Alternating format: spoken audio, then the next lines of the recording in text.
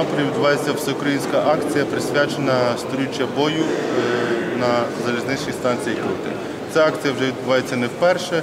Е, Минулого тижня у нас 21 січня проводилася всеукраїнська акція вшанування 242-денної оборони Донецького аеропорту. Тоді по всіх великих аеропортах України грали військові оркестри. Тому сьогодні ми проводимо акцію е, для того, щоб вшанувати пам'ять тих хлопців, які загинули 100 років тому за виборюючи незалежність і свободу нашої країни.